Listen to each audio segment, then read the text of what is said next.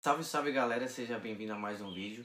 Antes de qualquer coisa, quero convidar você a se inscrever no canal e ativar o sino das notificações. Caso você gostar do vídeo, não esqueça de deixar o like, beleza? Bom, eu tô aqui com a Larine Nand, né? Ela é a profissional que vai remover uma tatuagem que eu fiz, né? Sabe aquela tatuagem que tu fez e se arrependeu? Pois bem, aconteceu comigo. Então eu quero remover, só que eu tenho algumas dúvidas, né? Tudo bem, Larine? Oi, Mariel, tudo bem? É, primeiro eu quero agradecer né, o convite, é, gostei muito e também pela confiança no meu trabalho por ter é, estar removendo comigo né, a tatuagem. É, isso é muito comum, pessoas que estão infelizes com a tatuagem e me procuram para remover ou micropigmentação de sobrancelhas.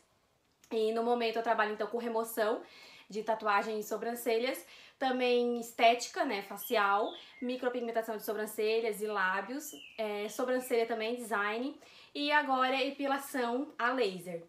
E quais seriam então as dúvidas, Mariel?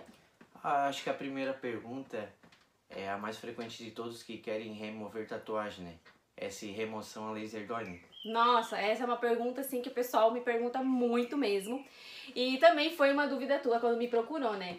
Que os homens são mais sensíveis. Então, é assim, o que todo mundo me fala é que a sensação que o pessoal me descreve é como se fosse um elástico batendo na pele ou uma queimadura, assim. Mas eu sempre peço pro para cliente, né, o cliente vir antes, uns 10 minutinhos, para colocar um anestésico, adormecer e ser uma sessão mais confortável, né? Então, assim, e também já sofreu um pouquinho para fazer a tatuagem, né? Então, já sabe que uma dorzinha vai sentir para remover também. Sim. E quais os cuidados antes e depois? Assim, o mais importante seria não pegar sol, né? Não deixar a região bronzeada nem antes nem após. Aí no dia fica um pouquinho inchado, vermelho, então pode aplicar uma compressa de gelo ou é, camomila é, em até 48 horas. Não arrancar casquinha, né? Umedecer o local com pomada cicatrizante. Evitar locais com é, muito calor, é, chuveiro, né? Vapor. Também passar protetor solar, né? Tá aí, como o laser age? Então, não é que o laser ele vai tirar o pigmento ali, vai remover o pigmento. Não, ele faz, ele dá um empurrãozinho pro corpo humano fazer o seu processo que ele já faz naturalmente. Quando a gente faz uma tatuagem, por exemplo, o nosso corpo ele já é, detecta aquilo como algo estranho. Então ele luta todo dia para tentar remover aquele invasor, né? Então o sistema imunológico ele entra em ação.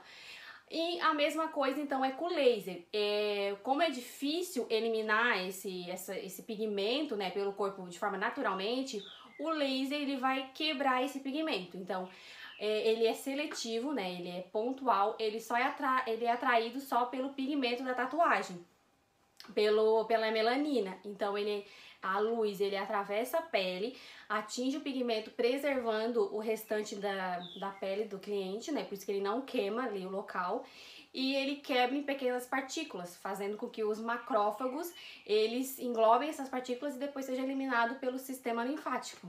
Tudo através de uma, da fagocitose. E a senhora tem alguma contraindicação? É, sim, temos contraindicações. É muito importante fazer uma avaliação antes, né, para ver se, é a, se a pessoa se enquadra nos requisitos para fazer um bom procedimento e evitar complicações futuras, né? Uma pessoa em tratamento de câncer, é, doenças de pele em geral, pessoas que estão em tratamento de rocutânea, que a pele fica muito fina, portadores de marca-passo, gestante e pessoas que têm tendência queloide, né? Aquela cicatriz que fica em alto relevo.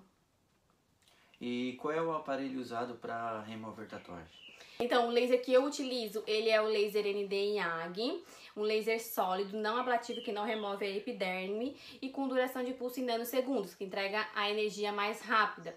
E ele tem, possui duas comprimentos de ondas diferentes, duas ponteiras, que seria 1064 e a 532. A 1064 é atraído pelo cromóforo melanina, que é o pigmento preto. E a 532, então, é atraído pelo cromóforo hemoglobina, que são pigmentos mais marrom, puxado por vermelho e derivados dessa cor. E assim, Larine, quantas sessões precisa para remover uma tatuagem? Vários fatores influenciam para a remoção de tatuagem, né? Ah, não tem como a gente se basear no, no amigo que, ah, ele fez 5 e eu fiz 6, 10. mais do que ele, por quê, né? Tudo influencia. Se o pigmento ele não é o adequado para uma tatuagem, se foi improvisado com uma maquininha em casa, né?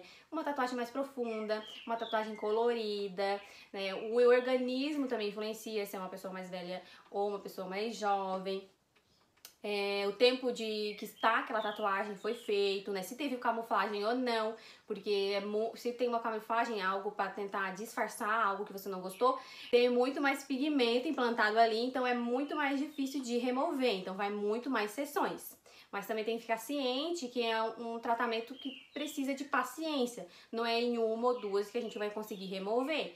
Então, é um passo de cada vez e muitas pessoas também fazem a remoção de tatuagem para tentar dar uma clareada, para depois fazer alguma outra tatuagem em cima que não precise de tanta cobertura. Também tem essa opção, ou que remova totalmente, mas vai aí bastante sessões. Tem casos de que uma tatuagem demora até um ano para ser removida. Mas tudo vai também da tua força de vontade que quer remover aquela tatuagem, né? E a maioria, assim, não se importa. Ô, oh, Larine, quanto tempo demora uma sessão? Varia. Tem casos que vai mais ou menos uns 20 a 30 minutos. E às vezes pode um pouquinho mais pela questão do anestésico. Mas tem tatuagem assim que às vezes é tão pequenininha que nem 10 minutos vai. Então é mais ou menos do tamanho da tatuagem, né? Tá, ô Larine. E qualquer fototipo de pele pode remover tatuagem?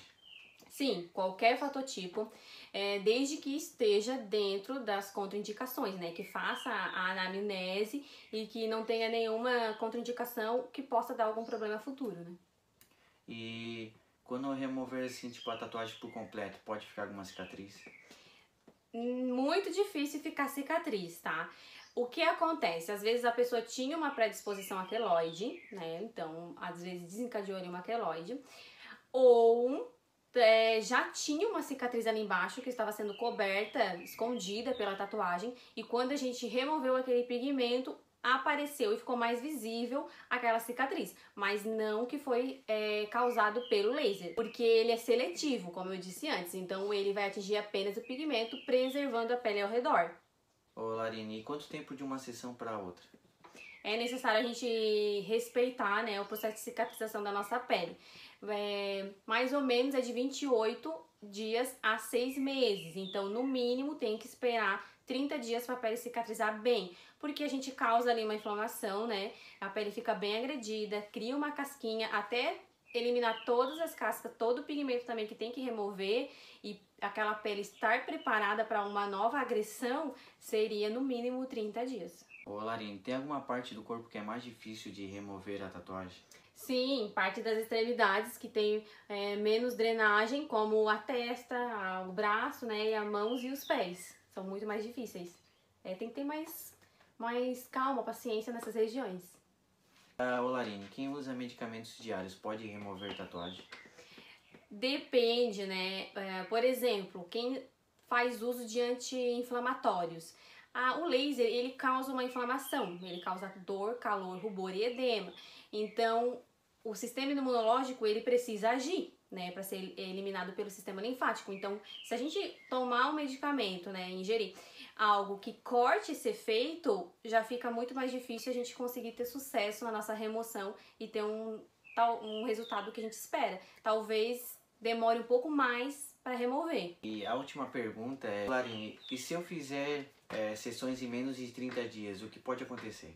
É, então, o que acontece é que aquela pele ela não tá 100% recuperada. Se a gente fazer um laser novamente ali em cima, é, pode danificar mais ainda, causar às vezes uma queimadura, né? E tem casos que a a pele demora ali 30 dias, como eu havia falado antes, para cicatrizar e ainda tem um pouquinho de casquinha. Então, como é que a gente vai aplicar um laser novamente ali em cima sem ter eliminado todo, todo o pigmento, toda a casca, né? E ter cicatrizado 100% para poder ter um, um resultado é, satisfatório.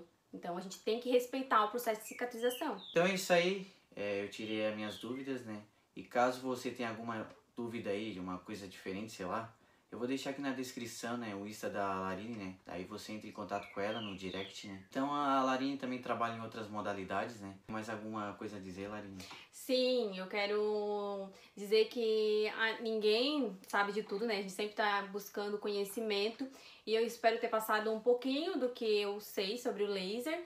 E se alguém, como você tenha, tinha citado, tiver alguma outra questão a ser levantada, pode chamar aqui ou no comentário, ou no meu Instagram, no WhatsApp, né?